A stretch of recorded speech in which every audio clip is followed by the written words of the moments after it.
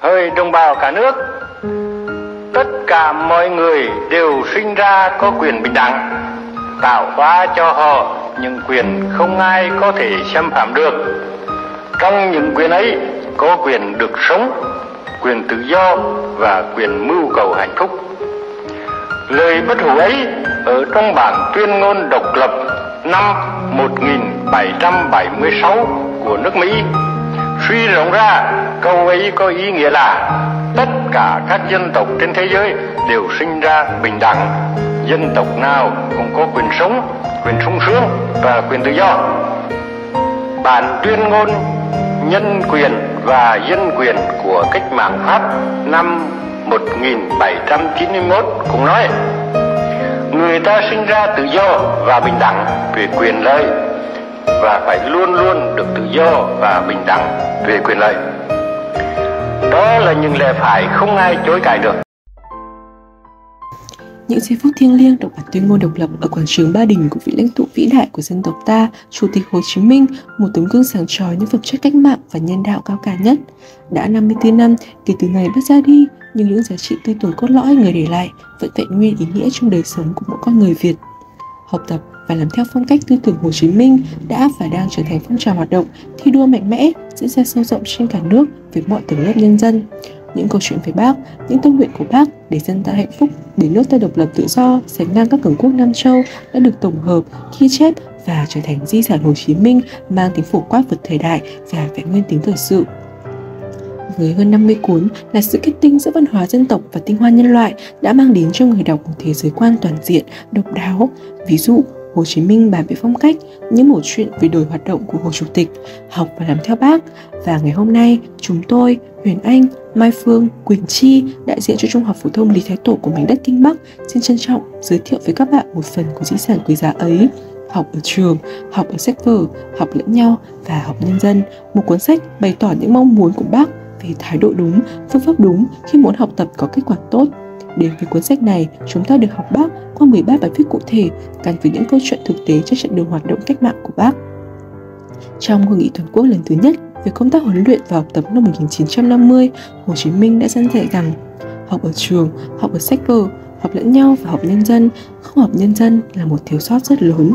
Lời dạy của người coi nghĩa thực tiễn sâu sắc, xác định rõ tầm quan trọng của việc học tập, nhất là học ở nhân dân. Đó là môi trường học tập rộng lớn nhất, toàn diện nhất và hiệu quả nhất. Định hướng ấy trở thành kim chỉ nam cho sự nghiệp đấu tranh vì dân, vì nước của người. Ở bài viết đầu của cuốn sách, người đọc đã học được bài học về thời gian khi năm 1945 mở đầu bài nói chuyện tại lễ tốt nghiệp khóa 5 trường huấn luyện cán bộ Việt Nam, Chủ tịch Hồ Chí Minh thẳng thắn góp ý. Trong giấy mời tới đây nói 8 giờ bắt đầu, bây giờ là 8 giờ 10 phút rồi mà vẫn nhiều người chưa đến. Tôi khuyên anh em phải làm việc cho đúng giờ vì thời gian quý báu lắm. Quỹ thời gian của con người là có hạn. Người ta có thể làm lại một cái nhà, một con đường nhưng không thể lấy lại được một tích tắc đã qua đi. Chính vì lẽ đó mà thời gian còn quý hơn vàng bạc. Tiết kiệm thời gian là tiết kiệm thông minh và văn minh nhất mỗi người đều có thể tiết kiệm được thời gian của mình tuy nhiên để thực hiện điều đó chúng ta cần phải làm việc có kế hoạch cụ thể chi tiết làm việc ngăn nắp gọn gàng đó chính là tiết kiệm thời gian của mình và mọi người không chỉ vậy trong bài nói chuyện tại buổi lễ tốt nghiệp khóa 5 trường huấn luyện cán bộ Việt Nam, bác đã nói với các sinh viên về tinh thần học học nữa, học mãi. Kể cả khi đã ra làm việc hay khi thành công thì phải nghiên cứu vì sao thành công để lấy kinh nghiệm. Khi thất bại, sẽ xem tại sao thất bại để tránh đi. Mỗi câu chuyện, lời căn dạy, không khô khan giáo điều mà thiết thực. Cụ thể, gắn với ví dụ sống động từ thực tế. Thực tế con người bác, lối sống của bác mỗi câu chuyện, lời căn dặn của bác trong tình huống cụ thể, trước một đối tượng cụ thể đều có thể áp dụng trong cuộc sống cho mọi người. Và trong bài viết thứ hai của cuốn sách, tác giả đã chỉ rõ những mặt xấu của bệnh chủ quan đối với người theo cách mạng nói riêng và tất cả mọi người nói chung. Trong tư tưởng của hồ chí minh, con người không bao giờ thực sự hoàn hảo. Bác cũng khẳng định, đã là người trí thức thì không được để lý thuyết thì dày thực hành lại mỏng. Ấy là trí thức nửa mùa. Phải biết rõ cái khuyết điểm của mình, phải khiêm tốn, chớ kiêu ngạo, phải làm các việc thực tế mới thành công lý luận phải thực hành mới là lý luận chặt chẽ, thực hành phải nhằm theo lý luận mới là thực hành hiệu quả. Theo người, bệnh chủ quan này có thể dẫn đến những hậu quả khôn lường. Vậy nên, mỗi chúng ta cần nhìn lại và suy nghĩ về bài học của chủ tịch hồ chí minh, lật mở những trang sách học ở trường, học ở sách vở, học lẫn nhau và học nhân dân. Chúng ta rút ra nhiều bài học quý giá, bởi cuốn sách có lẽ được viết dành cho tất cả mọi người, mọi đối tượng, chứ không riêng gì cán bộ hay những người hoạt động cách mạng. Khổ thơ cuối cùng của một bài thơ luôn là khổ thơ hay nhất chương cuối cùng của một cuốn sách cũng là chương có nội dung ý nghĩa nhất. Tinh hoa của cuốn sách có lẽ đã được dồn hết vào bài số 13, kết thúc với tiêu đề là Cần kiệm liêm chính. Trời có bốn mùa, xuân hạ thu đông, đất có bốn phương, đông tây nam bắc, người có bốn đức, cần kiệm liêm chính. Thiếu một mùa thì không thành trời, thiếu một phương thì không thành đất, thiếu một đức thì không thành người. Cần là siêng năng, chăm chỉ, cố gắng dẻo dai. Cần thì việc gì dù khó khăn đến mấy cũng làm được.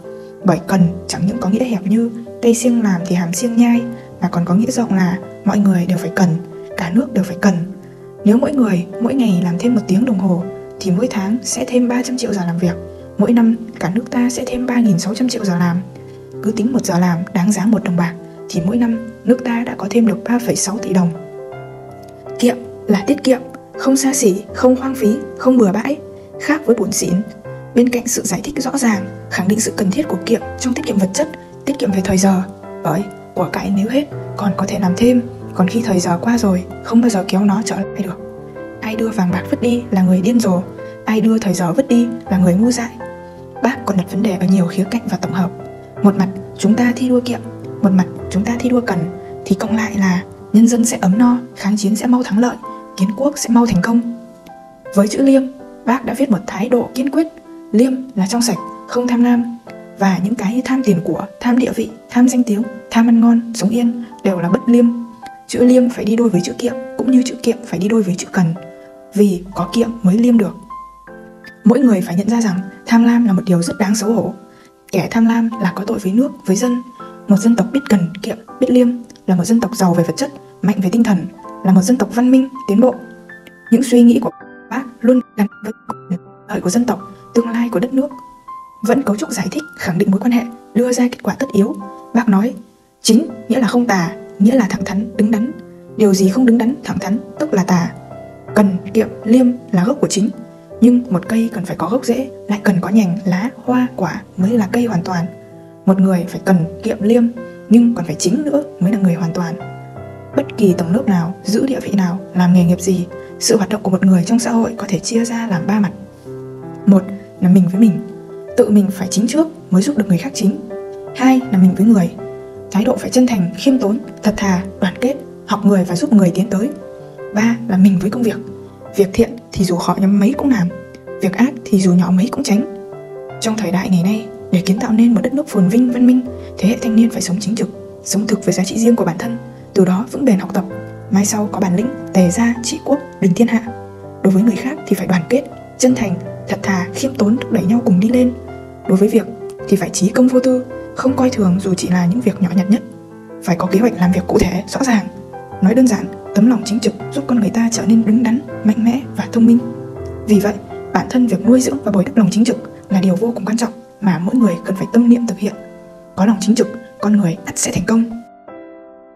Mở ra những trang sách di sản quý báu, chúng tôi đã thực sự suy nghĩ và thêm thấu hiểu tư tưởng, đạo đức, phong cách của một người cách mạng trong thời đại mới. Được học tập và làm việc theo tấm gương Hồ Chí Minh là trách nhiệm, là lẽ sống cuộc đời những người trẻ tuổi, trẻ lòng cùng mang tâm nguyện phấn đấu, học tập tốt, lao động tốt, khiêm tốn, thật thà, dũng cảm, càng học càng tìm hiểu về bác, chúng tôi càng tự hào về vị lãnh tụ vĩ đại của dân tộc, về những trang sử vẻ vang đã làm nên một Việt Nam vừa anh hùng, bất khuất, vừa nhân ái, chan hòa. Trong từng suy nghĩ, mỗi hành động của bác đều ẩn chứa những triết lý, tư tưởng, hình thức đấu tranh cách mạng đúng đắn, không khô khan, giáo điều mà sinh động, sâu lắng và dễ dàng đi vào lòng người. Cách sống bình dị, mộc mạc của bác lại ẩn chứa một lẽ sống cao cả, hết lòng vì nước, vì dân.